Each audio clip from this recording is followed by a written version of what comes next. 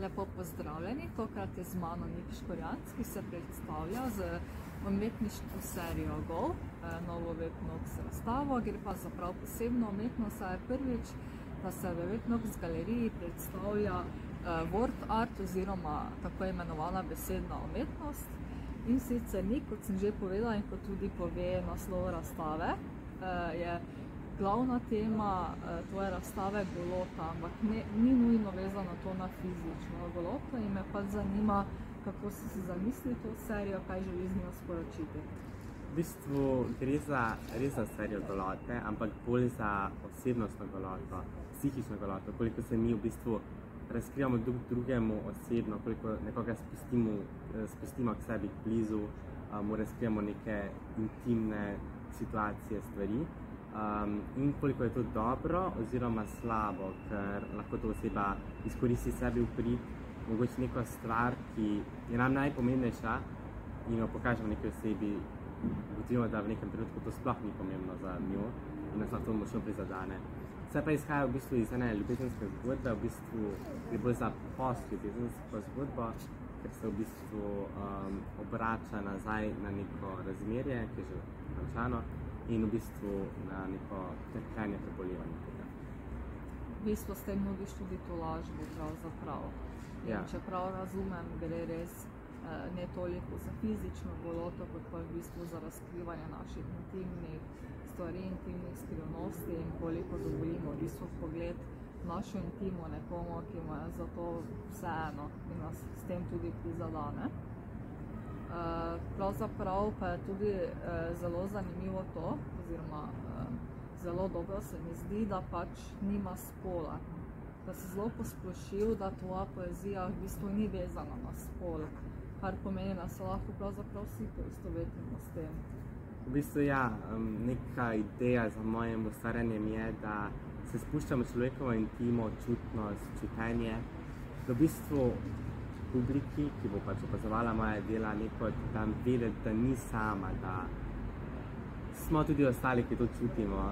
In se mi zdi, da z neko brez uporabe spola, z neko posplošitvijo, um, dosežem to večjo množico ljudi. Ja, meni se zdi v bistvu res zelo pohvalno, ker vsi smo že dali skozi takšne situacije, ko smo se pred nekom razkrili in nam je potem bilo žal, ker to nekdo lahko izkoristil, nas prizadel.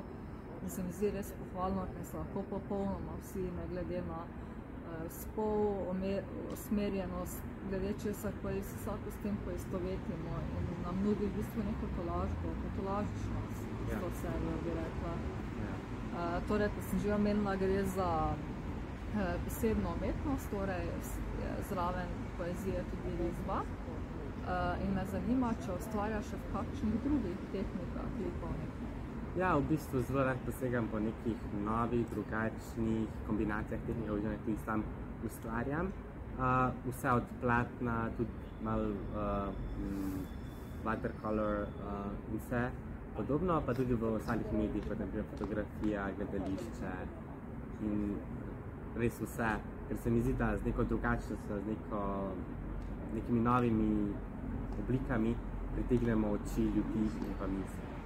Ja, strinjam. Uh, torej, glede na to, da si v kulturni sferi zelo dejaven, namreč uh, ukvarja se tako z gledališko igro, s poezijo, kot tudi z likovno umetnostjo, tradicionalno in netradicionalno.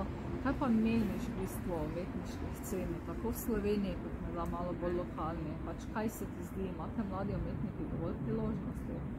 Um, zdi se mi, da je scena dobra, um, res umetniki, ki so predstavljeni, so dobri, ampak se mi zdi, da vseeno se mladi včasih nimamo možnosti se v bistvu res tisti prvi korak narediti, se res pokazati, uh, ker vedno je, vedno je težnja po nekem predstavitvi nekih uveljavljenih avtorjev z že pravim imenom. Uh, in se mi zdi, da je za nas mlade se teže prebiti skozi vso to množico umetnikov, pač sploh pa mi mladi, ki pač nimamo neke formalne izobrazbe.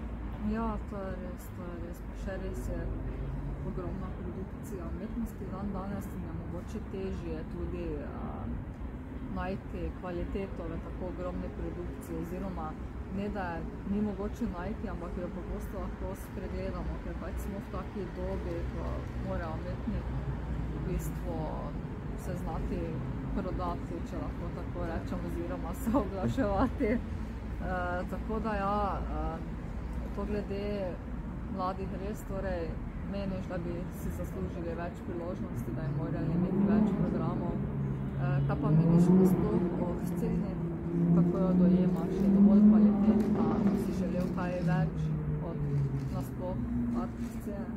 Um, v bistvu, zdi se mi, da um, sploh to, kar sem že prej omenil, da se lahko nekateri pridejo do neke razstave, igre, karkoli, sploh z imenom. In se mi zdi, da ni nujno, da so tista dela potem kvalitetna, ampak je problem potem, da so ustvarjena pod nekim imenom, ki je pa ne vem, v preteklosti ustvarjalo že nekaj, kar je pa bilo dobro. Se mi zdi, da je to glaven problem. Ja, ja, se strinjam. V bistvu velja več ime kot pa Kvaliteta v večini primerov. Vam jaz ti zahvaljujem za ta pogovor, zahvaljujem si ti, da si sodeloval z nami in nas v bistvu uh, potolažil z tvojim delom, uh, tako dekleta, fante kot vse ostale.